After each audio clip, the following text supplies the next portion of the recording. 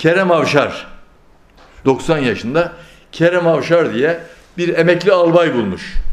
Onunla yani en son görüştüğünüz son şahit o mu? Evet, evet, evet. Onun anlattığı bir... O Emirdağ'ında subaymış abi. Evet. Bir defa değil Hazreti Üstad'la çok beraberliği olmuş. Bir gün Üst Hazreti Üstad sağ dizinde, dizinden şikayet etmiş. Oradaki sızıdan. O da işte ne oldu, nasıl oldu, nerede oldu falan deyince Erzurum Pasinler'de bir Rus kurşunu dizimi sıyırdı geçti demiş. 1915'te Birinci Dünya Evet, Savaşı'nda. Birinci Dünya Harbi'nde. 1915 senesinde. O Avşar yani orada askerken e, üstattan dinliyor bunu 50 Tabii yıllarda. Kerem Avşar'a Üstad Tamam. Emir Dağı'nda anlatıyor. 5 saat çamur ve buz içinde kaldık diyor. Pasinler'de üstad. En son dinlediğim hatıra da bu. Ama tespit ettiğim şeyler çok çok çok. Ateberüken bir de şunu arz edeyim bakayım. Rus esaretiyle alakalı çalışıyorum epey zamandır. Onun için de çok zorluk çekiyorum.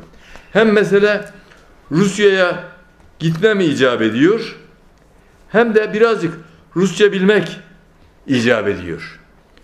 Üstadın kaldığı yerler rastgele yerler değil abi.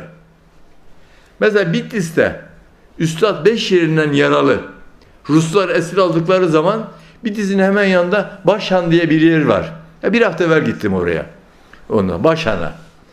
Baktım Başhan'ın yanında bir cami. Allah Allah. Koştum baktım. 1974'te Üstadın iki gün o beş yerinden yaralı içeride yani yüzlerce şehit üst üste şehit cenazeleri onların kokuları kış günü 1916 senesinin Şubat sonları. Başhan'da o şehitlerin cenazeleri arasında iki gün. Aç, susuz, ekmeksiz. Beş yerinden yaralı. Üstadın kaldığı yer. Ama Risale-i Nur'un baharında Risale-i Nur'un bayramında Başhan'ın yanına Başhan Camisi yapılıyor bugün. Oradan sonra üstadı Başhan'dan alıp Tatvan, Gevaş, Van, Van'ın doğusunda Erçek Gölü, Özalp, Saray, Kotur, Hoy. İranca, Acemce, Farisice Hoy tuz demekmiş. Oralarda tuz mağaraları, tuz kaplıcaları, tuz dağları o kadar çok ki. Çünkü gene Hasan Aksüt Bey kardeşimizin himmetiyle bir anda beni aldı. 8 saat sonra Ahlat'a götürdü. Ahlat'tan Ağrı'ya, Ağrı'dan Iğdır'a, Iğdır'dan Nahçıvan'a. Nahçıvan'ın da en aşağılarında Culfa. Tren yolu var orada. Üstad işte o deve kervan, İranlılar o deve kervanları da mütemadiyen kızıyorlar bize. Bu Rus Osmanlı'ya, zabitlere, üstad gibi subaylara, zabitan, subaylar. Bu Moskov'u siz başımıza bela ettiniz diye. Onların deve kervanlarıyla üstadın şeyi de böyle. Şeye gidişi. Culfa'ya, Culfa'ya gidişi. Orada tren var. Tren bekleniyor. Bir hafta sonra tren geliyor. Trenle Tiflis'e. Tiflis'te tam 6 ay. Yani oranın adresini de buldum.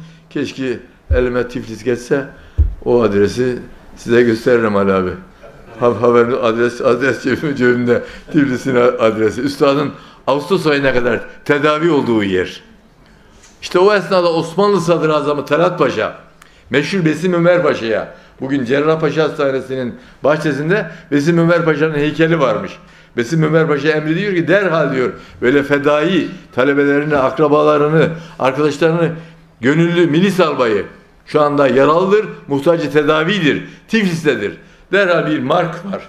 Markın miktarını da hatırlayamadım. 65 Gene mark. Said Nur bana kızacak gene paradan bahsediyorsun diye. Üstada gönderilen e, Osmanlı'nın gönderdiği 65 mark. Evet.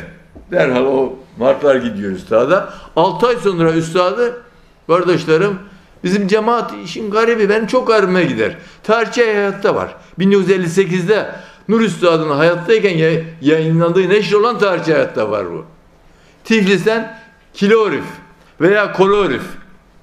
Kosturma Başşehir gibi Safa kardeş 14 tane oranın şeyi var.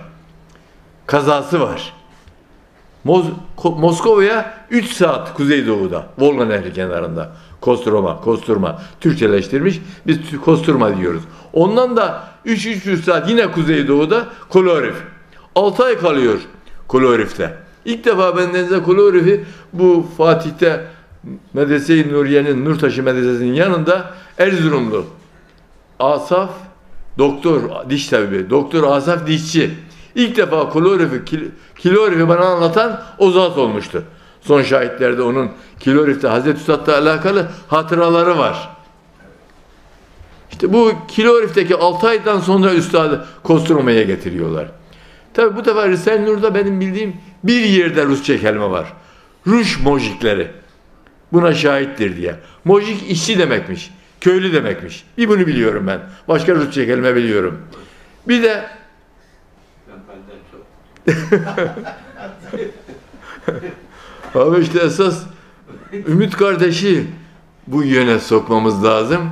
İki günde, üç günde az söyledim. Üç günde öğrenir Moskov'un kelimesini.